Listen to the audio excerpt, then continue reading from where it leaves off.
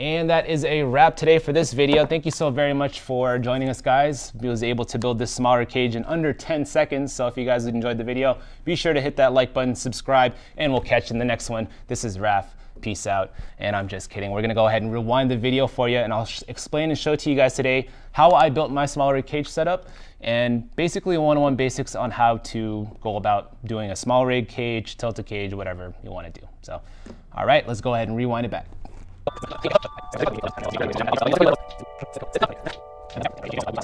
Now you may be asking yourself, you know, you may be curious, where do I start? Where do I even begin with small rig, Tilta, this and that, any cage setup? Well, the first thing you want to start off with, of course, is the foundation. And of course, camera, of course. So hopefully you have your camera all set. Uh, we're, today we're gonna go ahead and start working with a lot of our SmallRig products. We have a lot of SmallRig here at our store.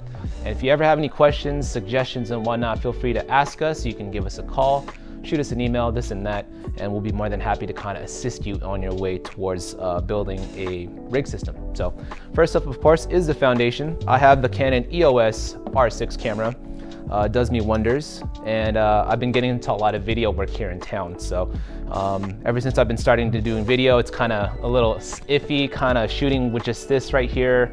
Um, so getting a cage is a really good foundation in helping protect your camera system from any bumps or any, you know, tough uh, situations. So first up, base foundation. Get yourself a cage.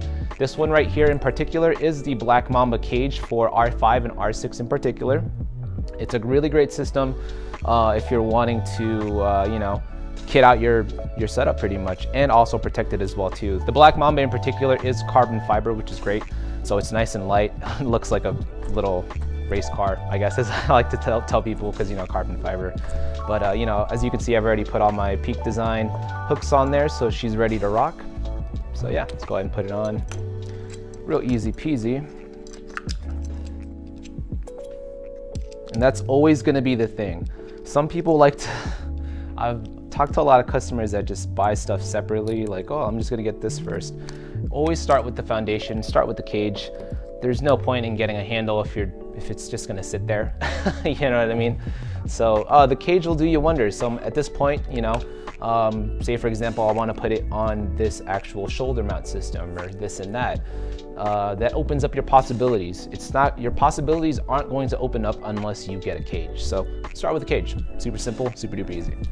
Okay, next up from there, um, you know, sky's the limit. So uh, the Black Mamba cage also comes with the handle, top mount handle.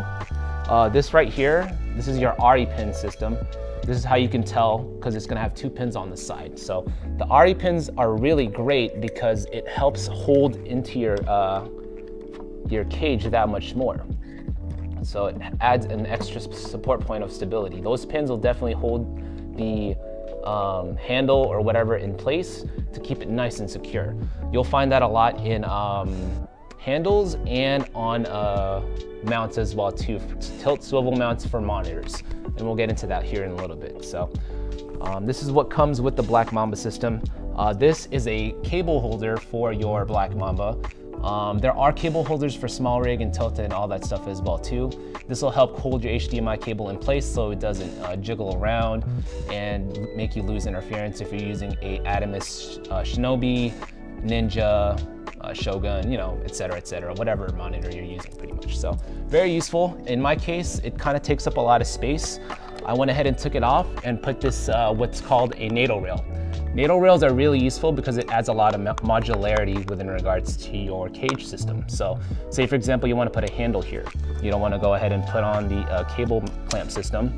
Um, there will be little screw points right there so you can actually put the screws in to put whatever you want. Say for example, the, um, the cable system. In my case, I went ahead and put a NATO rail so I can do this. Again, sky's the limit.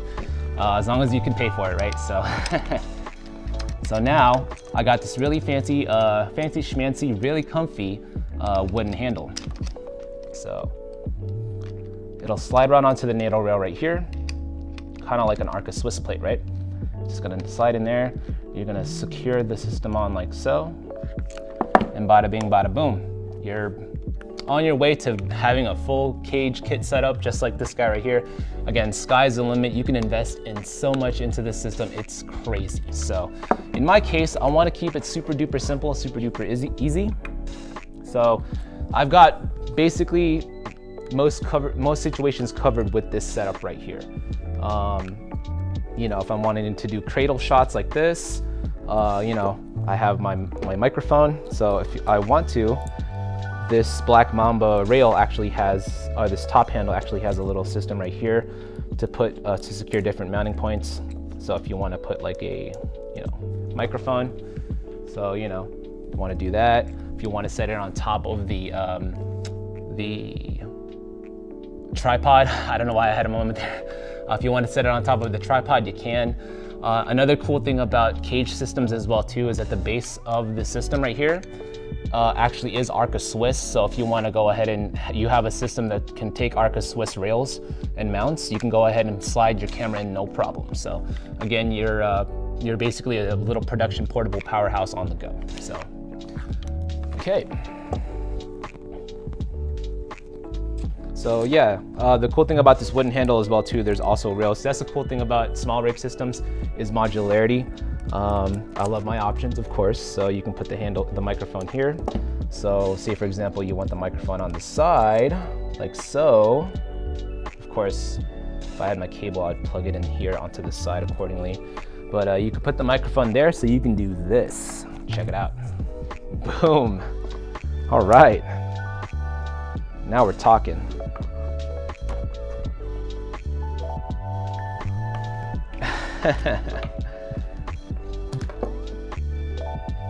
All right, so now I have my microphone off to the side and I have my monitor, my Atomos Ninja 5 monitor here. Great system, shoots uh, 4K 60 frames or records up to 4K 60 frames and you could put a solid state drive. And yeah, that's, uh, yeah, boom, look at that. So again, the sky's the limit in terms of what you want to do. Um, in terms of what I do in terms of production, this is a really great system. Uh, gets the job done for me. So HDMI in, goes in here, plugs into the side right here, micro, there we are. And bam, bam, wham, thank you ma'am. That's pretty much how it goes. And uh, this is my cage setup in particular that gets a lot of work done and of course, you know, gets me paid. So, um, yeah. You can rig your setup any way you want from this point onwards, but in this video, I just wanted to go ahead and go over the fundamentals and the basics of what you really need for cages. Again, consider your rails and your mounts. Uh, remember the ARRI pins are the two pins that are located on the side of handles and screw points to kind of help secure it. Uh, NATO rails is what's going to be helpful to put on like different uh, handles specifically. Uh, so keep that in mind. Uh, there are top mount NATO rails, side um, NATO rails, slim profile ones so you can have ease of access, this and that. Um, and in terms of what I have in production, it's going to expand and grow. I'm going to get a solid state drive for my Atomos Ninja 5, and then it's got monitors, so I'll have my headphones on so I can do recordings and do movements as well, just like so. And that's pretty much it. So consider um, the cages that you need, consider the main foundation, of course, which is the cages, and go from there. Hmm, what else? Other accessories, of course, include the handles. If you do a shoulder mount system, you can go ahead and do that. This guy right here, you know, the matte box is really useful if you want to put in different ND filters for videos as well. Put this off to the side here. Whoops. So bring this guy here. There are actually sliding points here that you can access to put in um, uh, variable ND filters. Well, not variable ND, just ND filters, if you will.